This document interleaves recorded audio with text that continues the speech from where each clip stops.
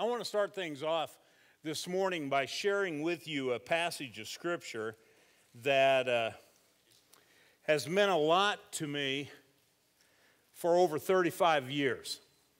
And this is a passage I got to thinking about this past week in view of what we're talking about today. I got to thinking about this passage, and, and uh, I couldn't really recall the last time we've talked about it in here. I think it's been a number uh, of years ago. And, uh, and it's such a rich passage of Scripture that uh, let's consider it as our warm up passage to our message, okay? It's not the primary, the key passage that we're going to be focusing our attention on, but, uh, but this passage uh, is really rich, okay? Here it is. It's 1 Peter chapter 2, verses 9 and 10, and it reads like this But you are a chosen people a royal priesthood, a holy nation, God's special possession, that you may declare the praises of him who called you out of darkness into his wonderful light. Once you were not a people, but now you are the people of God. Once you had not received mercy, but now you have received mercy. One of the cool things about this passage is that it, it, it uh, just, you know, kind of capsule summarize, uh, uh, summarizes in, in two verses a before and after. You know, and, and we see that all the time in advertising. We see that in commercials, you know, when they're, they're talking about weight loss products, you know, they do the before and then they do the after. Or if you're talking about a house renovation, the before and then the after, just to show the contrast, you know, the, the amount of change that had taken place. Well, there are several places in the Bible that uh, various writers that God had used to pen the words of Scripture, they, they used that same before after contrast thing in order to really drive home an important point. And Peter is doing that right here in this passage. And what adds to the significance here is when you understand the context of who it is that he's writing to. Unlike a lot of the letters in the New Testament, this was not written to a specific church, like the church in Colossae, thus the name Colossians, or the church in Ephesus, thus the name Ephesians. Now, this, this just bears um, the human writer's name, Peter. It's his first letter. That's why it's called First Peter. But if you look in the early verses of chapter 1, you see that this was written to Christians who were scattered because of persecution. These are people, now try to try to mentally put yourself in, in their skin. These were people who not only have lost their businesses for those that were business owners, but they've lost their homes. They've lost their land. It's not like they had an auction and sold their house. No, they lost it. They were run out because they were Christians on that basis. Persecution. Okay? And, and for many of them, too, they, the, the, the close friends that they had that perhaps they had lived close to for years, now they have no clue where they are. Maybe even some of their relatives, they've lost track of some of their relatives. Because, see, this is the dispersion, and that's actually one of the words used in the early part of this letter because of persecution. So, so in a very real sense, the people that Peter is writing to, these are people that uh, um, perhaps were down, their heads were hanging a bit, because some really rough things had just happened to them, all because of their faith. All right? So when you understand it from that perspective, all of a sudden, when you're reading what it is that Peter is writing to them, it takes on special meaning because now you're appreciating better what Peter is aware of that maybe you weren't aware of previously. So let's reread it from this perspective and understanding. Peter says, But you are a chosen people See, it, this whole thing of faith and everything, it didn't start with you choosing God. God chose you. Right? You're a chosen people, a royal priesthood, a holy nation.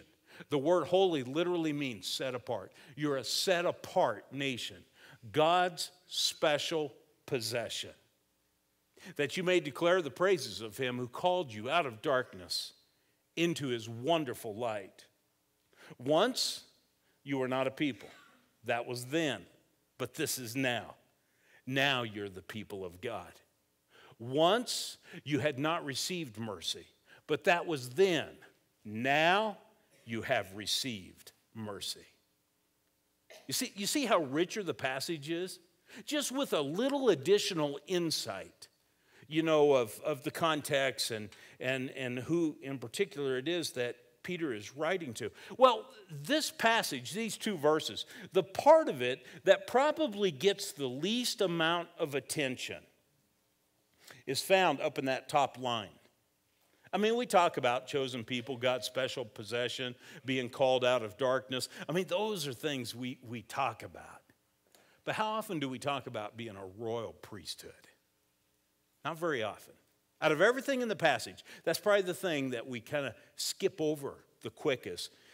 A big reason why is because we have the least amount of experience of what being a priesthood, let alone a royal one, has to do with anything. I mean, what, what exactly is that? We, we don't really know because we don't really live in, in a setting where we see that or, or, or we're taught that. But that's what I want to draw your attention to today because I think it serves as an excellent springboard to what we're talking about. He says, and remember, it's not just because they were scattered Christians, they were Christians. And he refers to them as being a royal priesthood. Now, that ties in, you see at the bottom of the slide, verse 5, something he had already said in the context. He had referred to the Christians as offering spiritual sacrifices acceptable to God. And we all know that's what priests do, right? I mean, if you have the backdrop, the understanding of what was here, what we call the Old Testament, then you know that's what a priest does. But in this context, he specifically is referring to them as offering spiritual sacrifices acceptable to God. And then just a handful of verses later, he refers to them as being a royal priesthood. Now, if you know anything at all about the Old Testament, you know that sacrifices were central to the religious life of the people of Israel. They were offering animal sacrifices all the time.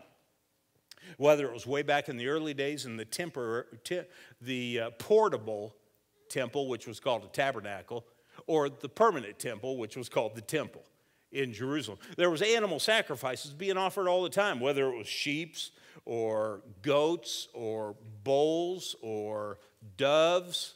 I mean, there were certain unclean animals that would have never been offered as sacrifices, but, but there were a number of different animals. But it was always the priest that offered the sacrifice.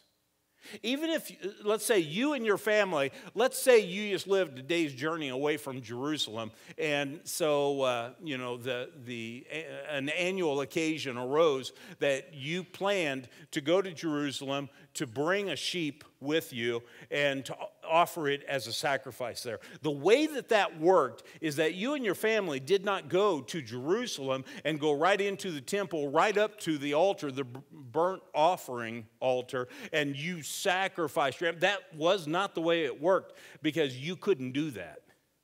You had to pass off that little sheep. You had to pass that off to a priest. That was the priest's job. You handed it off to the priest. The priest then went and on your behalf offered that sheep as a sacrifice. A priest was a go between, was a go between between you and God. That's what priests were. So that was their responsibility is to offer the sacrifices. Well, according to this passage of scripture, it's saying that that's what now we are all about. We are a royal priesthood. Have you ever heard anyone use the phrase, um, the priesthood of all believers? Yeah, this is one of the passages that that comes from. The Bible teaches. We don't live in the old covenant anymore. We're in the new covenant. It's the priesthood of all believers. Now, for clarification, just so that I'm not assuming anything here that you understand, um, I want to make a, a point crystal clear.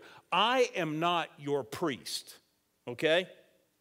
Sorry if that burst some bubble that maybe you had, that you thought that I was your priest. I am not your priest. Brad Fogo, who is on vacation in Colorado this week, he is not your priest. Tracy really wants to be your priest, but, but he is not your priest either, okay? All right, we, we are not your priests. We're pastors, but that's something totally different than a priest, than what the role and responsibility of a priest was. Like I said, a priest served as the go between between God and man, but you know, that's no longer needed because of what Jesus did. Jesus offered that ultimate sacrifice. And you have passages like Hebrews 10, verses 12 through, through 14, it says, After Christ offered one sacrifice for sins forever, he sat down at the right hand of God. With one sacrifice, he made perfect forever those who are being made holy. There is no longer any need for any blood sacrifices to be made. That altar in Jerusalem is obsolete now in regards to offering animal sacrifices, no longer needed. Jesus offered the ultimate atoning sacrifice when he voluntarily went to the cross and died on our behalf. But we still got this business of us being a royal priesthood. Just so you know, we don't offer animal sacrifices, okay? We don't do that. I know you've been looking for a purpose for cats being in existence, but we don't offer, we don't offer. Let me go ahead and apologize now because I, I bothered somebody in the first service by that statement. So if what I said, let's see, how do the politicians say it? If what I said uh, offended anybody, then I'm sorry. In other words, if you're not offended, I'm not sorry for anything I just said. You know, I guess that's what that means. We don't offer, we don't offer animal sacrifices. But but still, you've got to ask the question though, because in 1 Peter chapter 2, verse 5, which I showed down at the bottom of the screen, it talked about spiritual sacrifices. So we got to ask this question what are these spiritual sacrifices? They're not animals, okay? They're not blood sacrifices. That we're certain of. But what are these spiritual sacrifices. Due to time limitations, I want to show you one primary passage before we get into our main passage, okay? But this one here is a great one Hebrews chapter 13. And appropriately, it's in the book of Hebrews because the whole purpose of the book of Hebrews is to show how Jesus you know, has fulfilled all of that. And we don't have to continue to offer animal sacrifices anymore. That's what Hebrews is all about. But yet, in the final chapter of Hebrews, we read this Hebrews 13, verses 15 and 16. It says, Therefore, through him, and that's a reference to the Lord Jesus, through him, let us continually offer up to God a sacrifice of praise, that is the fruit of our lips that confess his name. Don't neglect to do what is good and to share, for God is pleased with such sacrifices. There we go. All right, it's talking about sacrifices here. And in these two verses, it actually references three sacrifices. And I'm not going to elaborate, you know, long and hard on this, but I do want you to see what is being taught here so you have some kind of an appreciation for what these spiritual sacrifices look like the first one is mentioned in the first half of this, verse 15, where it refers to a sacrifice of praise. All right, there's one spiritual sacrifice. A sacrifice of praise. And in case that's not clear enough, um, he, he breaks that down even more by saying that is the fruit of our lips that confess his name. So, here just a moment ago, we were singing. We had, we had the lyrics up on the screen, and we were singing these different praise songs. And in a very real sense, there was spiritual sacrifice being given to the Lord. The fruit of lips that are confessing his name. That's what was happening here this morning. However, I don't want you to have too narrow of an understanding on this because it's not limited to that. Say, for example, on Friday, you had a meeting with an acquaintance of yours for lunch and you sat across the table at uh, some restaurant, um, and, and big part of the reason you wanted to meet with them is you're really concerned about where they're at spiritually, where they're at with the Lord. And you use that opportunity to, to share your testimony, to share about your faith and how much the Lord means to you in hopes that they would be responsive to that, that they would have a soft heart and they would hear and the seeds would be planted in their life. Well, you see, in a very real sense, what you did is you showed a demonstration of the fruit of your lips confessing his name. And there was not a drummer, there was not someone playing bass guitar, there was not someone playing a keyboard in the background. Well, I guess that depends on what restaurant you're at, but there probably wasn't, you know, that kind of thing going on. But yet you offered a spiritual sacrifice just by professing your faith in Christ, confessing your faith to another person. So it's not just something that happens in a Sunday morning context, okay? So that's one spiritual sacrifice, the sacrifice of praise. Two, what you see in the second part of this, verse 16, it says, Don't neglect to do good, you know, and then it says, and to share. For God is pleased with such sacrifices. So it's talking about sacrifices. It says, Don't neglect to do what is good. So we're talking good deeds here or good works. Now, don't misunderstand what I'm saying. I'm not saying that we're talking here about salvation and you need to do good works in order to get saved and all. That's not even that's not even the topic we're dealing with here because the only way you can be saved is through what Jesus did when he died on the cross on your behalf. And what we're talking about is now that you are a Christian, you are part of the royal priesthood and you need to be offering spiritual sacrifices. That's what we're talking about. And so the second sacrifice that's referenced in this passage is good deeds. And you know the cool thing about that, man, that can happen anytime, any place. That could happen outside of the grocery store in the parking lot when you go out and put all your bags and groceries away and everything, and you see someone that you, their car won't start, they got a dead battery, and you know you got jumper cables in the trunk. And you're saying, hey, you want me to, want me to give your car a jump? Sure right then and there, a spiritual sacrifice was offered. Because you're doing that because of your faith. You're doing that because the Lord has been so good to you that you want to be good to others. See, that's a sacrifice you just made. And those come in all shapes and sizes. The third one here, it goes on and says, Don't neglect to do what is good. It says, and to share now we're talking generosity. Number three, spiritual sacrifice. Number three, generosity. This, this, is where, this is where you take some of your hard earned money and you are actually blessing someone else, maybe who's, who's hard up or has fallen on hard times or they've had some difficulties happening and medical stuff going on in their family. And so you're reaching out and helping them. Or maybe this involves sharing in regards to making missions possible by supporting, you know, a missionary. And so the promotion of the gospel can happen in other areas outside of even our area right here. And, and that is a way of sharing. You're offering a spiritual sacrifice by doing that. But bottom line, it's basically taking what a lot of people would look at as being yours and you have every right to keep it, but yet you're sharing it, you're giving it to others.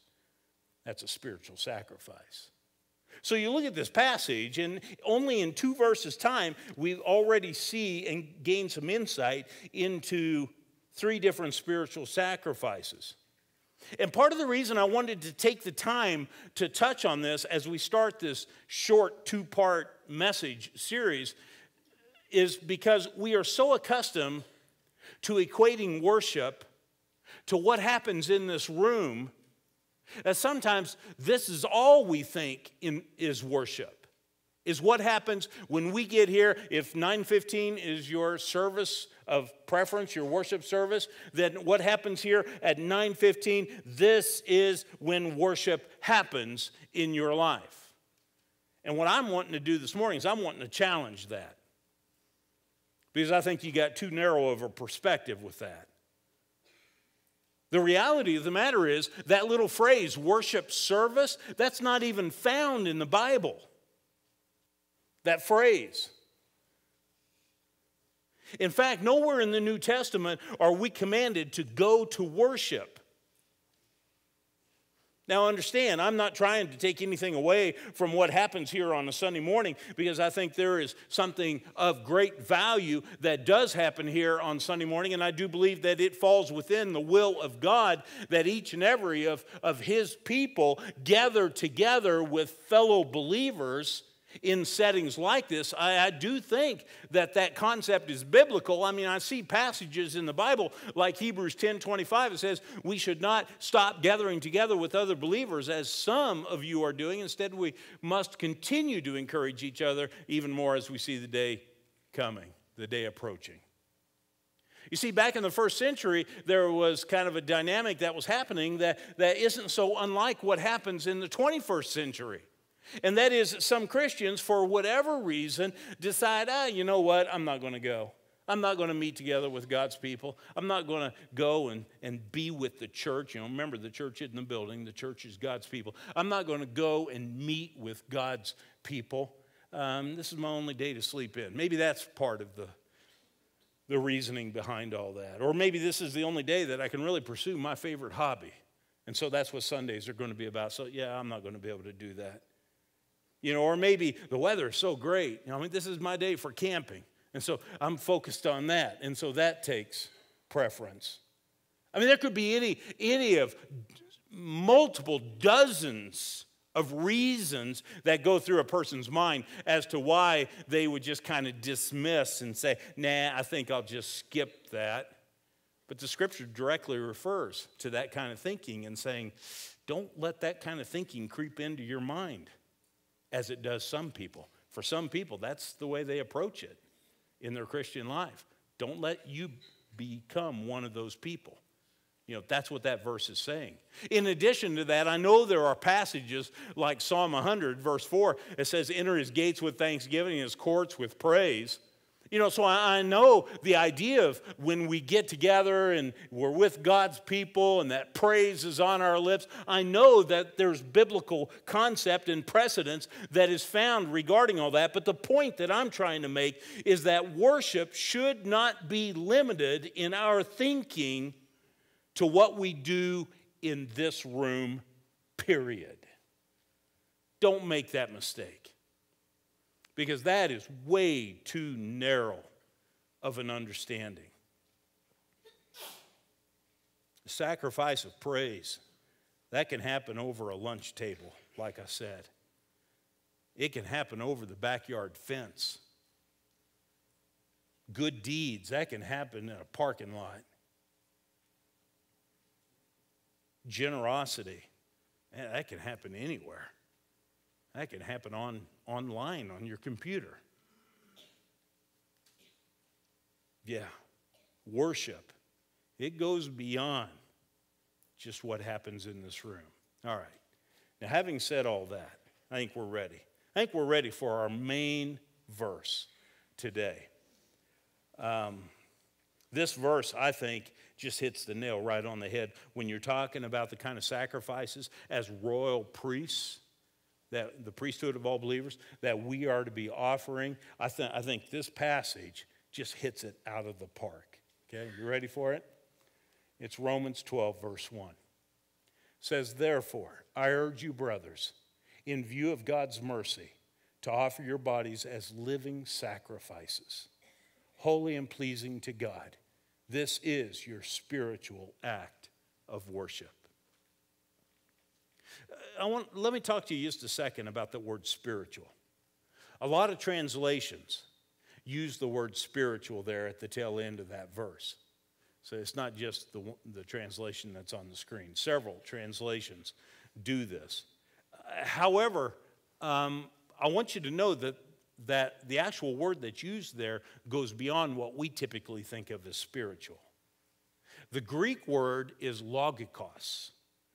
I'm sure I butchered it, but that's, that's uh, the phonetic way of saying it anyway, the Greek word, logikos. It's where we get the English word logical. Check your footnote. If you got your Bible open, I would venture to guess most of the Bibles have a footnote at this point, and it'll either be under the word spiritual or it might be under the, the word worship. But if you look down, you'll see the footnote. It says reasonable. Yeah, that's what it's talking about. After saying what it says earlier in that verse, it says, This is your reasonable worship. Now, as we're going to see in a moment, as we break all that down, there are a few of us that would uh, have the inclination of saying, Well, that sounds reasonable. Instead, we'd say, Man, that sounds extreme to me. Yeah, but you got to understand the whole verse. And once you really wrap your mind around what the whole verse is talking about, you should come around to understand it is reasonable. What this verse is saying, it is reasonable. So that's what we're talking about is reasonable worship. Today we're going to look at what is found in verse 1. Next week we'll look at what is found in verse 2. So what did he just say right before he said, This is your reasonable act of worship? He just got done saying we are to offer our bodies as living sacrifices. Living sacrifices. I don't know about you, but that kind of sounds to me like a like a oxymoron. Living sacrifices. I mean, that's kind of like when someone says jumbo shrimp. It's like jumbo shrimp, you know. It's like how do those words go together? Or deafening silence. Or, or here's one that, that you've you not only have heard, you've probably used this. And it, does, it really sounds silly when you just pull these two words out and just say them together without any other words around them. Pretty ugly. I mean, think about it. You know, we say that about things. Well, that was pretty ugly. It's like pretty ugly. I mean, those seem to totally contradict one another. That's what an oxy moron is. And, and that's, that's what this verse is saying living sacrifices. Well, aren't sacrifices dead? I mean, yeah, if you've got this fallback here, you know, the Old Covenant, the Old Testament, and all these animal sacrifices and, and everything that were offered, countless hundreds of thousands of sacrifices that were offered over the centuries, they were dead. Every single one of them unless one happened to run away during the exchange from the family to the priest. That'd been the only way, but then it wasn't a sacrifice because it got away, it got loose. So when you think about sacrifices, you're always thinking of dead, but, but yet this passage is talking about living sacrifices. And so it kind of challenges us a little bit there because we're not used to thinking along those lines, but yet it is consistent with stuff that we see in the New Testament. For example, let me show you another verse, Second Corinthians chapter 5 verse 15. It's talking about the very same thing, but it uses none of the same terminology. Here's the way it reads. He, referring to Jesus, he died for all so that those who live should no longer live for themselves, but for the one who died for them and was raised. That basically is saying the same thing as Romans 12:1 in regards to that concept living sacrifice. It's talking about the same thing. You see, the idea here is that each day anew, we are to live our lives kind of like what Jesus did that day that he was arrested. Remember, he was in the garden and they came to him. And, well, before they came to him, he was praying and he was saying, God, if there's any way for this cup of suffering to, to pass. And, but he, what did he say that in his prayer? He said, But yet not my will, but your will be done. And we hear that and it's just like, wow Man, how, how great our, our Lord is.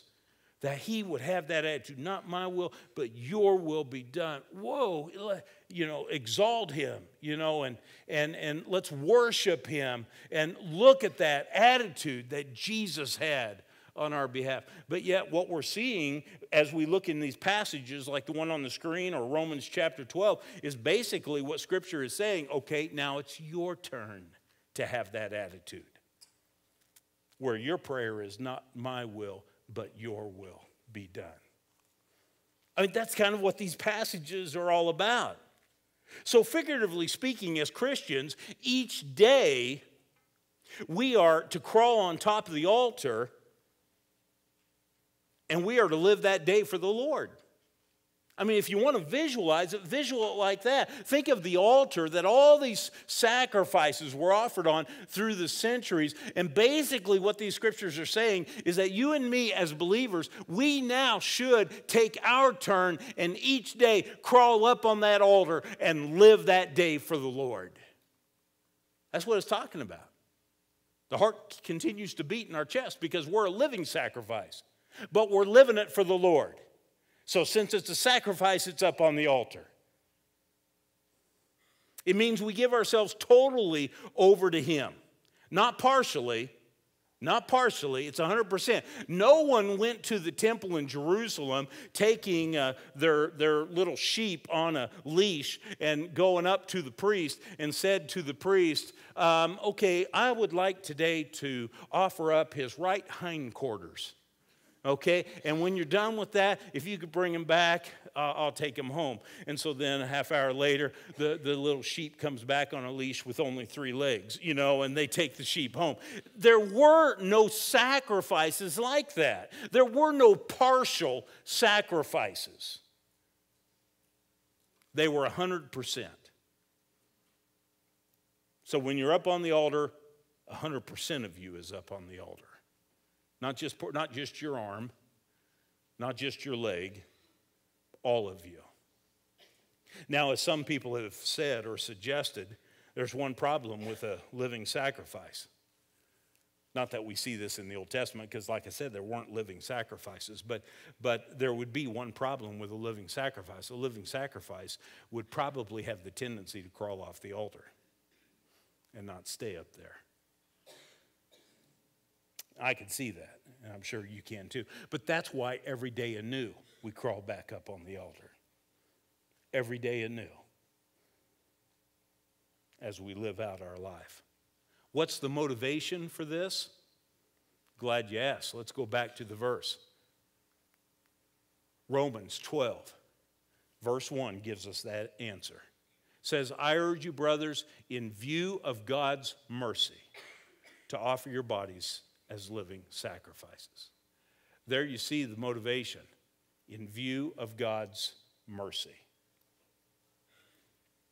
My paraphrase of what I think the verse is saying here in regards to motivation is it is saying, in view of all that God has done for you, this is the reasonable thing for you to do in response. This is reasonable. You consider Jesus left heaven, took on human flesh, came down here on earth, voluntarily allowed himself to be crucified on the cross to make possible for you to escape hell and judgment of your sin. In view of that, it is reasonable that you offer yourself as a living sacrifice, that this is your response. That's the argument. It's all found right here in this verse. I find it interesting that, that Paul is basing this appeal primarily on the mercy of God and not the grace of God. I mean, like our last song that we sang this morning, it had to do with the grace of God and we like amazing grace and we talk about the grace of God and all this but but this verse is specifically appealing to uh, due to the mercy of God. What is the difference between grace and mercy? Well the way the way that I help keep that distinction in my mind is grace is God giving you what you don't deserve. That's what grace is. God gives you the gift of his Holy Spirit. God gives you the gift of a home in heaven in eternity. God gives you what you don't deserve. That's God's grace. Mercy is God not giving you what you deserve. It's kind of looking at it from a different perspective. But that's what mercy is God not giving you what you deserve. And you know, there's a lot of people that uh, over the years I've heard complain uh, that God is not a fair God, you know, because this happened, that happened, this didn't happen, whatever. That God's not a fair God. Uh, you know, and, and that particular complaint that sometimes is thrown out there, I just want you to know I'm glad God is not a fair God. I am really glad God is not a fair God. Because if God was fair, then that would mean He would give me what I deserve. And I don't like to even think about what I deserve. because of sin, because of some of the choices that I've made in my life. I deserve not only to be separated from Him in the here and now, but I deserve, due to His holiness, to be separated for all of eternity. And so I'm glad that God is not a fair God in giving me what I deserve. Notice the verse, it starts off with the word therefore. Pretty much every translation has the word therefore right at the beginning. If not, it might be the fourth or fifth word, but still, it's, it's at the beginning of the statement. The word therefore. It's, it's a key word, it's a transitionary word. It's a word that basically is saying, based on what has just been stated or said, this now is the conclusion of the matter. Okay, and, and, and the, the way Romans is divided up is kind of interesting because the first 11 chapters of Romans is doctrinal stuff. The last four chapters, chapters 12 through 16, is practical stuff. Or to say it another way, basically what you have in the first 11 chapters is how we came to God. And then in the last four chapters, how you live for God. And so it's, it's a key transitional moment in what Paul is writing. And so he says, therefore. Basically, he's saying, therefore, since he didn't hold your sin against you, because see, that's what he dealt with in the preceding chapters. Since he didn't hold your sin against you, since he isn't going to throw you into hell, since he's altered your eternal destiny, this is what you should now do in response. Paul's point is really clear. Being a Christian is more than church attendance. And like I said, I don't want to assume anything here. So I, I, don't know whether you've been a Christian for a lot of years or whether you ha- have only been a believer or follower of Christ for a number of weeks or a few months. Understand, being a Christian is more than church attendance. It ought to include church attendance because we already looked at one of those verses. We ought, we ought to be getting together with brothers and sisters in Christ. The Bible talks about that. But being a Christian is more than just this time period on Sunday morning being given to the Lord. Being a Christian is more than owning a Bible. In today's day and age, with printing presses and all of this kind of stuff, you know, having a copy of Scripture is something that that all of us ought to have. If you don't have one for some reason, we can, we can remedy that. Go by our guest center out here in the entry area. We'll, we'll remedy that. We'll get you a Bible. But being a Christian is more than owning a Bible, okay? Being a Christian is more than praying over a meal. I hope you do pray over your meals. I pray that, or I, I hope that you pray and express gratitude you know, for God providing. I mean, we, we live in a country where it's so easy to take stuff like that for granted, but the Bible is clear. Every good and perfect gift comes from above. So every meal you sit down and eat, I mean, God is making that possible. And it only makes good sense, besides its good manners, to thank the one that's providing. So I hope you do pray over your meal, but being a Christian is more than that. Being a Christian is more than being a decent moral person. I hope you're a decent person. And I'm talking outside of this hour, 9:15 on Sunday morning. I hope you're a decent person Sunday afternoon or as the case was 2 weeks ago Sunday night when your team is getting beat by 40 points. I hope you're still decent in moments that you're tested. All right? I hope you're decent when you're at work or when you're hanging out with friends on Friday night. You know, you and I, we should be decent, moral people. But being a Christian, it goes beyond being a decent person.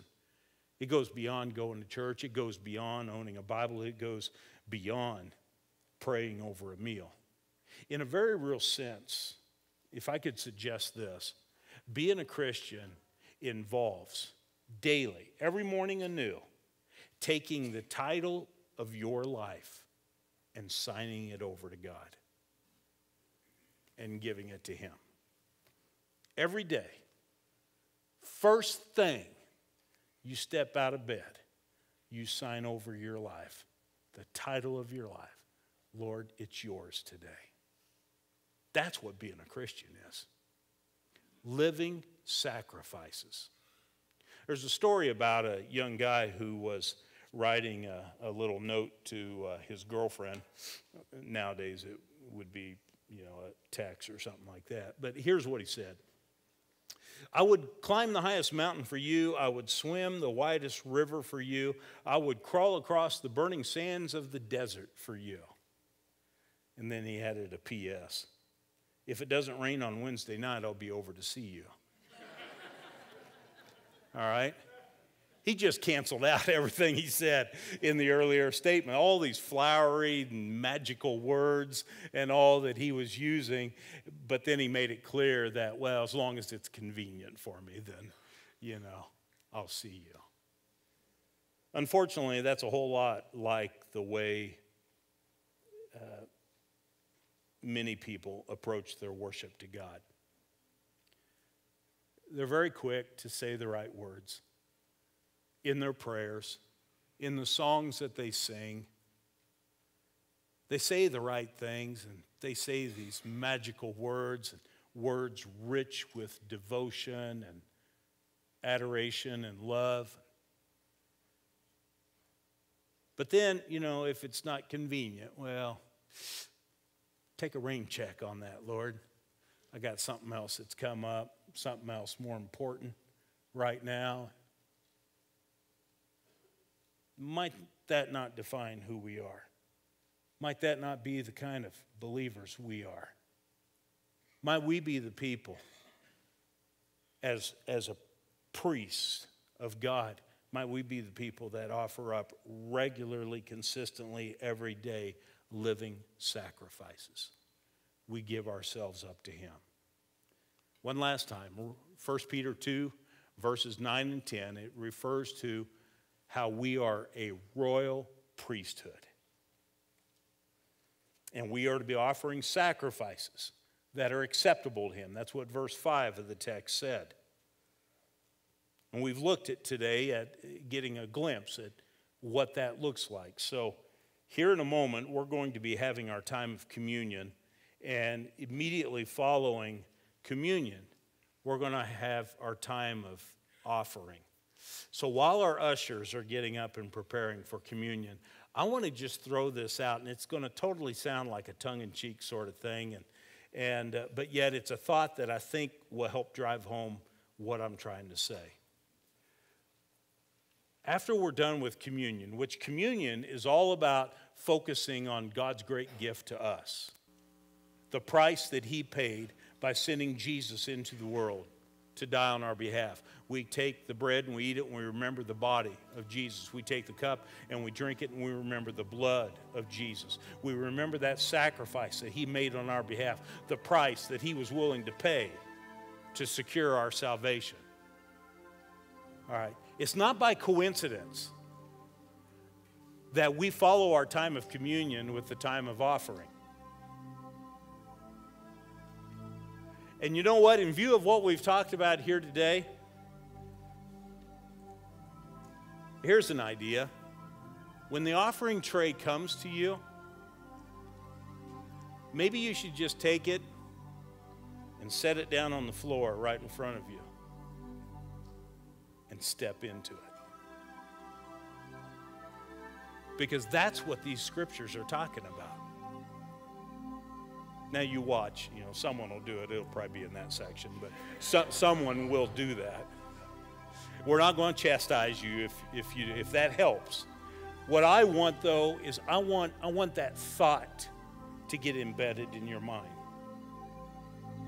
So every week when our time of offering comes, it's not about pitching in a check and you're done. That represents you. It's giving yourself to the Lord. Not just a portion, but the Lord. You're bought and paid for. What happened on the cross? He deserves all of you. Let's pray. Father, I thank you for how your word clarifies in our minds concepts that uh, are just incredible. And initially, probably a good number of us in this room, with some of the things that we've referenced here today, we would have said, well, that sounds like extreme worship. But yet now, as we've talked through it all and we've, we've explored some of these passages in the Bible, now we better understand that it's not extreme, it's reasonable. This is reasonable worship. It's the logical thing. In view of what Jesus did as he gave himself for us. We should give ourselves lock, stock, and barrel back to you. Father, while we take the cup and we take the bread and we eat and we drink, Lord, through your Spirit, etch this into our memory. Living sacrifices. Those are the kind of sacrifices that you find acceptable. I pray that in the name of your Son, Jesus. Amen.